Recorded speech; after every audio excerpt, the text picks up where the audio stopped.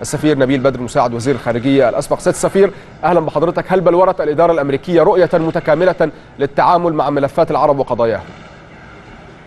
أتصور أن هذا من المفترض أن يتضح أكثر خلال الفترة القادمة عقب لقاءات الرياض ويبرز بصفة خاصة قضايا محددة. أولا قضية الفلسطينية في المقدمة وما الذي سوف تفعله الإدارة الأمريكية بما في ذلك قضية القدس باعتبارها عاصمة لدولتين فلسطينية وإسرائيلية هذه واحدة.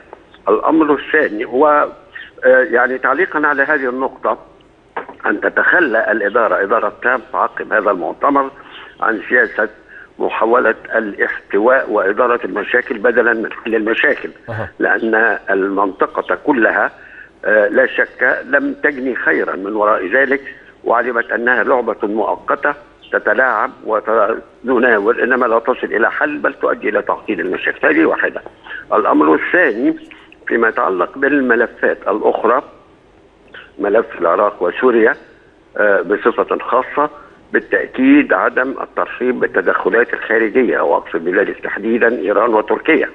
باعتبارهما من دول المنطقة وإذا كان هناك تحالف دولي فيتعين أن يكون التحالف الدولي أيضا فيه مكون عربي أعتقد أنه أقدر على التعامل مع المشاكل الإقليمية على النحو المعروف ومحاولة بطبيعة سيد سفير لكن على هذا النحو كأن العرب يريدون شيكا على بياض من الإدارة الأمريكية. أين محددات ومصالح الإدارة الأمريكية في كل القضايا التي تتحدث عنها؟ محددات العلاقة الأمريكية الإسرائيلية محددات العلاقة الإيرانية الأمريكية والتركية الأمريكية. المحددات على سبيل المثال في القضية الفلسطينية معروفة لأن كان هناك مشروع أمريكي هو مشروع خريطة الطريق 2003 ونص على إقامة دولتين وحدد برنامج وخريطة وجدول زمني إنما استطاعت إسرائيل أن توئد هذا المشروع ولم نره بعد ذلك. إذا المحدد هنا أن تكون هناك مرجعيات متفق عليها. هذه المرجعيات أشير لها حتى في هذه الوثائق الأمريكية وتبعتها أيضا تصريحات من إدارات لاحقة عليها. مثل التي تتعلق بحدود 4 يونيو 67 بمعنى آخر أننا نتوقع أن تقوم الإدارة الأمريكية في حدود هذا الكلام بتبني خطة واضحة لحل مشكلة مركزية مثل المشكلة الفلسطينية وهي اختبار حقيقي في هذا المسار. أما إذا كان الأمر يعود إلى مجرد المناورة والكلام المؤقت فأعتقد أن هذا سوف تكون له قراءة أخرى. بالتأكيد ليست إيجابية بالنسبة للنتائج أو التوقعات التي يأمل العرب ويأمل أيضا المسلمون خاصة في قضية القدس أن تسفر عنها اجتماعات تضم هذا الحشد الذي له دلالة بالتأكيد وله أيضا آثار يمكن أن تكون مهمة بالنسبة لكل الأطراف بما فيها الطرف الأمريكي. سيد سفير بعيدا عن كون السياسة فن الممكن وبأن العمل يجب أن يكون وفق الأطر الدبلوماسية إلى ما لا نهاية في محاولة لتحقيق القدر المستطاع من الأرباح. بعيدا عن هذا المعطى ما الذي قدمته الإدارة الأمريكية الحالية يقول إن على العرب أن يعولوا في قليل أو كثير عليها في حل جزء ولو كان يسيرا من إشكالياتهم أو الإسهام في ذلك؟ لم تقدم شيئا محددا. ودعني أستطرد لأقول نعم. إن عمر هذه الاداره الإدارة على كرسي الرئاسة في البيت الأبيض منذ 20 يناير الماضي ليس عمرا طويلا بطبيعة الحال. نعم. إنما الذي يشفع ربما لهذه التوقعات أمور معينة. اولا ما يتعلق بالتململ الذي يسود اوساطا أمريكية. لمسته بنفسي عندما كنت هناك. لأن قضية الاحتفاظ بالوضع القائم أو الستاتوس كو في الوضع الفلسطيني على سبيل المثال ليس في صالح إسرائيل اولا وليس في صالح المنطقة أي أنه يتعين أن يؤخذ قرار في هذا الشأن. أما أن تستدرج الإدارة الإسرائيلية الإدارة الأمريكية إلى السكوت عن قضايا حيوية بينما هي تبتلع الأرض فليس هذا بالتأكيد حلا مؤقتا أو حلا دائما للموضوع هذا هو الذي ربما بعث مع موضوع التململ نوعا من التوقعات بأن تكون لهذه الإدارة طروحات أو طرح معين يتعلق بتحقيق شيء من التقدم. وطبعا ينصب هذا الموضوع دون تحديد لما يليه على إعادة التفاوض بين الطرفين الفلسطيني والإسرائيلي. قضية المرجعيات قضية الحدود إلى آخرها لم تطرح حتى هذه اللحظة آه، بال- بالشكل ال- ال- آه، الذي يأمنه العرب نعم. مع تكرارهم لموضوع المشروع العربي على النحو المعروف يعني هذا هو الذي جعل نعم. هذا القدر من التوقعات إنما إذا كنت تقصد أن مثلا الإدارة الحالية ذات العمر من 20 يناير قد طرحت امرا محددا فحتى هذه اللحظة التي نتحدث فيها لم يحدث ونأمل أن يكون هناك مبرر أها. لهذا القدر من الأمل في نعم. تحرك إيجابي خلال المرحلة أنا القادمة. ساحاول أن أطرح على حضرتك ربما المقاربة الأخرى أو وجهة النظر آه، الأخرى في في في آه، هذه آه، آه، المقارنة بالأحرى بين الإدارتين لعلنا في هذه اللحظات نتابع أيضا التئام القاده الخليجيين مع الرئيس الأمريكي دونالد ترامب قبل لحظات على ما يبدو ما بين لحظة وأخرى نحن في انتظار انطلاق أعمال هذه القمة الرئيس الأمريكي السابق آه، آه، سيد السفير باراك أوباما كان يتحدث عن الذهاب صوب مفاوضات بين الطرفين الفلسطيني والإسرائيلي ولكن قبل بعد عفوا أن تتوقف إسرائيل عن التمدد الاستيطاني وكان هذا وعدا قطعه الرئيس السابق على نفسه لكن في النهاية تمددت إسرائيل في ابتلاع الأراضي كما ذكرت حضرتك كما لم تتمدد من قبل. الرئيس الحالي دونالد ترامب لا يتحدث بذات الحماسه على الأقل لا تبدو النوايا كنوايا سابقه. لماذا اذا البناء بكل هذه الآمال عليه؟ يعني من هذه الناحيه أستطيع أن أوافقك أنه لم يطرح شيئا. آه، في حقيقة الأمر لكن قاد لقد كانت تصريحاته خلال الحملة الانتخابية نفسها آه، لا تبشر بكثير نعم. من التفاؤل نعم. بما في ذلك تصريحاته المعروفة عن القدس نعم. بما في ذلك بطبيعة الحال هو كأمريكي ينتمي إلى تيارات يمينية معينة وذات علاقات تقليدية بإسرائيل ويرتبط معها برؤى معينة لم يكن بالتأكيد يميل إلى آه، حتى التعامل أو المعرفة الكاملة بوجهة النظر العربية. وفضلا عن ذلك آه، جاءت قضايا تتصل بالإرهاب واتهامات توجه آه، إلى المسلمين وإلى العرب بالممارسة لتعمق من هذا الأمر. اذا لم تكن هناك على هذا المستوى أمور معينة واضحة تبعث على هذا التفاؤل هذا أمر واضح. نعم. إنما يأتي بالمقارنة مع ذلك.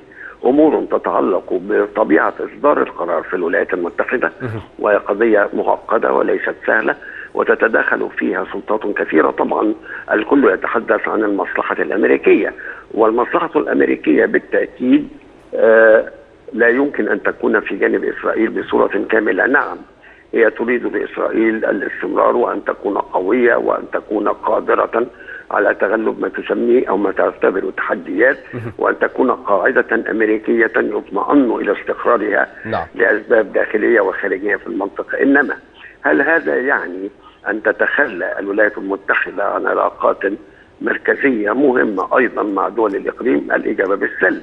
إنما ما طرأ ربما في الفترة الأخيرة هو نتيجة لتطورات معينة ما نشهده على سبيل المثال من أن هناك لا سعاده سفير قبل. قبل أن تسترسل في هذه الجزئية ربما حضرتك من واقع الفراسة قفزت إلى السؤال الذي كنت سأطرحه لكن آه، تخطيته إلى نقطة أخرى مسألة محددات آه، العلاقة الأمريكية والجزء الأساسي منها أو المعطى الأساسي والرئيسي منها هو مؤسسات الإدارة الأمريكية والبعض يقول إن هناك مكابح ربما تكبح تهور الرئيس الأمريكي الحالي دونالد ترامب هي التي ذهبت به إلى التعاطي مع ملفات أخرى برؤى غير تلك التي طرحها عندما كان مرشحا، كيف تبدو رؤية الإدارة الأمريكية أو مؤسسات الإدارة الأمريكية المكابح بين قوسين لقضايا المنطقة العربية وعلى أساسها يتعامل دونالد ترامب؟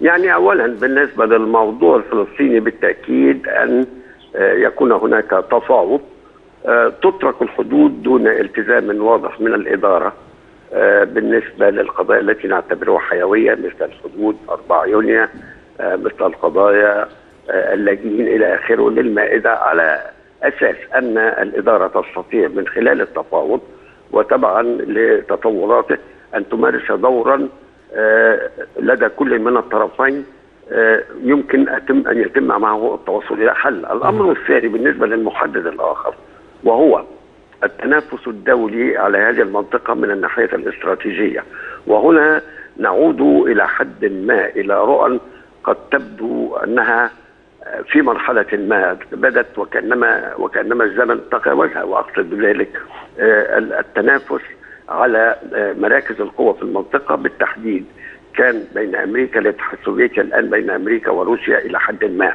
مع ملاحظة أن مركز الثقل كما تعلم من الناحية الاستراتيجية يتجه شرقا. انما هناك أسئلة كثيرة تحيط بهذا عن طبيعة التحالفات موقع الصين موقع روسيا من التحالف إلى آخره. إنما إذا عدنا إلى المنطقة لكن هي سياده سفير هي طبيعة العلاقات طبيعة العلاقة الأمريكية الروسية تبدو ملتبسة أو ملبسة برغبة أي من الطرفين مثلا.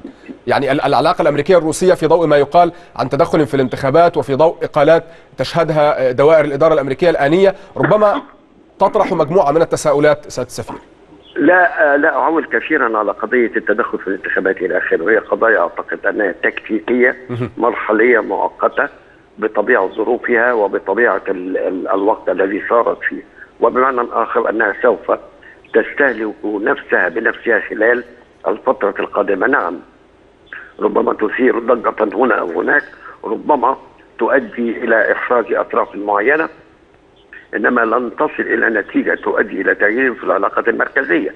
فيما يبدو حتى الآن أن الإدارة الجديدة اولا آه، تشكو وربما لها الحق في ذلك من آه، آه، تردد الإدارة التي سبقتها أوباما في اتخاذ نعم. قرارات مناسبة في موضوع سوريا إلى آخره كما هو معروف. إنما يبدو الصورة الحالية كما لو كانت أنها أقرب إلى احتمالات الاتفاق بين الطرفين الروسي والأمريكي على نوع من القبول كل من الآخر بمعنى أن تعترف الولايات المتحدة بالمصالح الروسية في المنطقة وأن تقبل هذا التواجد آه، المكثف كما نعلم في سوريا آه، بدرجة رئيسية وربما في أطراف أخرى ويدخل هذا في إطار آه، التبادلات العالمية المعروفة بين القطبين.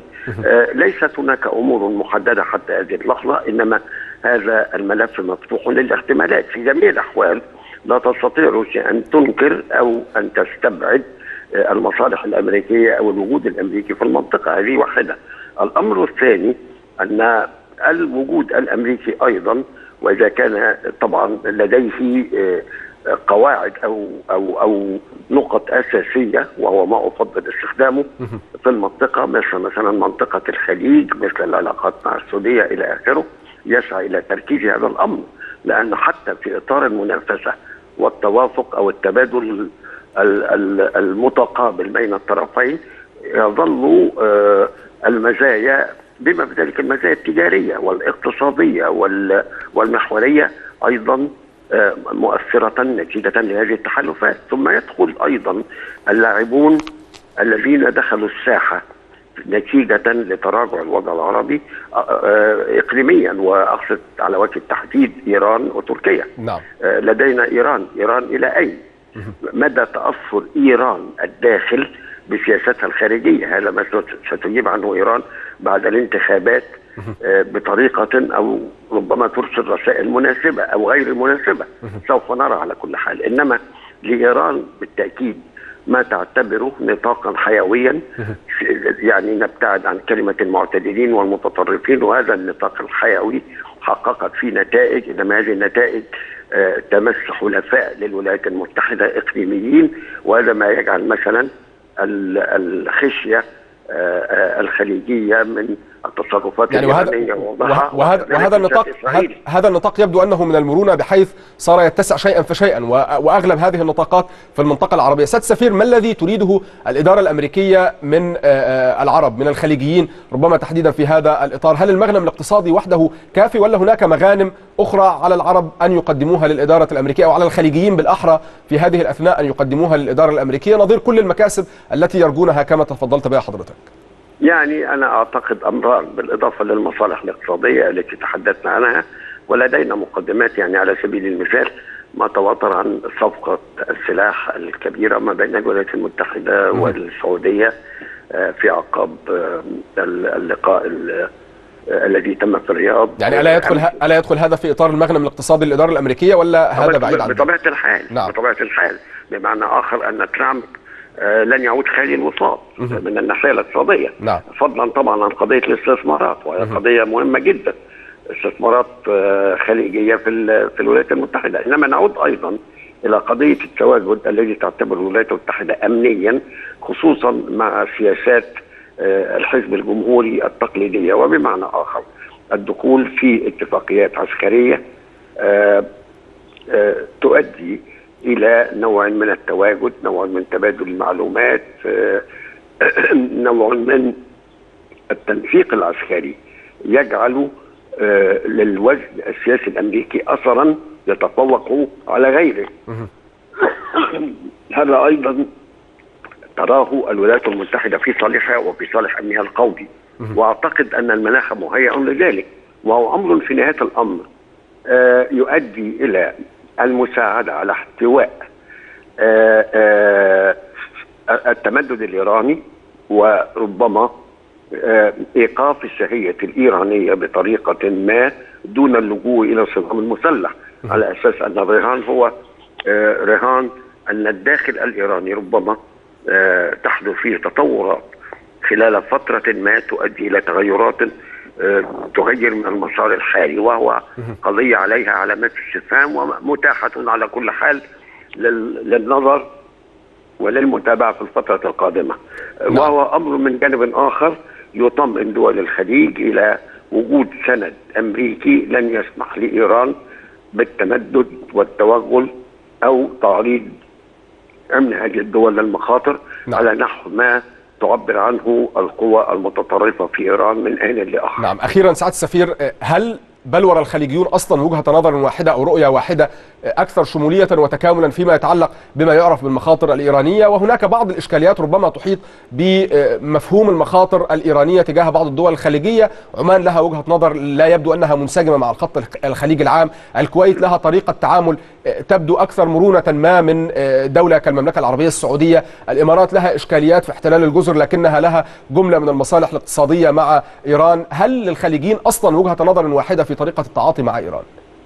يعني هو سؤال مشروع تماما وفي محله تماما في هذه الناحية، أعتقد أنه من الناحية العامة هناك هذا النوع من الحذر إذا صح التعبير بالنسبة للنظر إلى إيران بصفة عامة نعم. ولعلنا نضيف إلى هذا أنه في بعض المواقع في الخليج كما هو معروف فهناك توغل ديموغرافي نعم. لا سبيل إلى انكاره موجود في دول الخليج وبكثافة على نحو فعلا يمكن وضعه في الاعتبار في عند عند حساب مقتضيات التحرك في المرحلة القادمة. إنما أسلوب التعامل مع هذا الخطر قد يتفاوت من ناحية فكما ذكرت دولة كالكويت تبدو أكثر مرونة في التعامل. إنما طبعا نقول إن هذا الخطر لن يغيب. نعم. دولة كقطر تتلاعب بين هذا وذاك وتبدو في بعض الأحيان وكأنها تقترب إلى إيران بما يتجاوز التصور العام لهذا الأمر. إنما هي محكوم عليها. أولا لاعتبارات أخرى ليس هذا مجالها إنما على كل حال هذا التفاوت قائم وموجود عمان على سبيل المثال لديها علاقات هادئة إذا صح التعبير مع إيران. إنما هذا لا ينفي الحذر بصفة عامة. وأن هناك أطرافا تشعر بأنها ربما معرضة للتهديد أكثر من غيرها نعم. سواء بسبب احتلال الأجزاء أو التهديد باحتلال الأجزاء أو التهديد باستخدام العامل الديموغرافي والعامل العقائدي نعم. المذهبي كما هو معلوم لصالح أطراف معينة نعم. في دول الخليج ولدينا أمثلة وآخرها ما حدث في البحرين خلال الفترة الماضية كما هو معلوم. نعم. اذا هذا الحذر قائم، أسلوب التعامل قد يتفاوت إنما الحذر العام قائم.